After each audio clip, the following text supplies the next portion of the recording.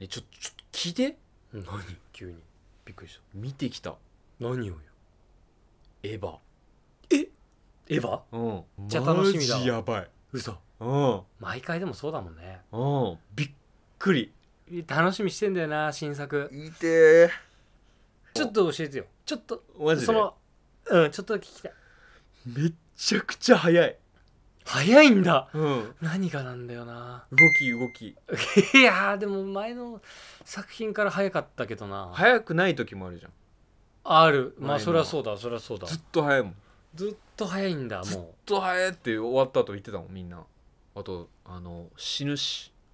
うで 死ぬのは誰が死ぬかによるけど誰かしら死ぬからな別にエヴァは。うん。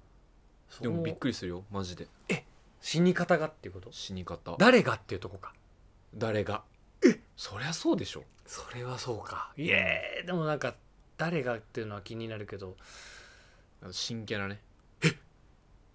新キャラ出てくるの？出る。めっちゃ可愛い。え？完全新キャラ、うんうん。うわ！マジか。片桐さん。片桐さん？うん。下の名前は？ゆ片 片桐優さん？ううん片桐優さんもエヴァに乗んの？乗る乗る。えー、乗るっていうか作る。え？製造者目線の話？今回、うんうん。うんすっげえうまそえ何が？うあのエヴァが。え？あもう手ぐらい手完際がめっちゃいい。完璧にもうできてるってこと、うん。片桐さんの作るエヴァが、うん。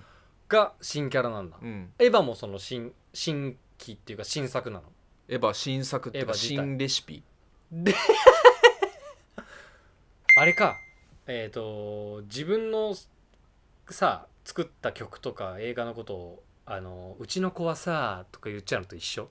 ああそうそうそそんな感じかもしエれないね。ヴァのことをもうその一つのもう料理に見立てているみたいなキャラ。あ見立ててっていうかまあ料理みたいなキャラなんだみたいな。もはや。あーその片桐ちゃんがね。片桐ちゃんっていうぐらい親しみやすいんだね、まあまあまあちゃそうんだね。付けで、うん。あの呼ばれてるからね主人公にも。主人公ってシンジ？うん銀河銀河。銀河、うん。主人公銀河？うん。エヴァ？エヴァ。え？エヴァンゲリオン？エヴァンゲリオン？え？何？エバラのチャーハン伝説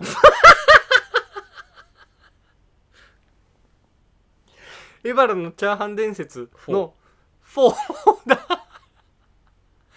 エバラのチャーハン伝説のね主人公銀河が、銀河。えー奮闘する。奮闘する。の新作。新作。ががマジでうまそう。手際がめっちゃいい。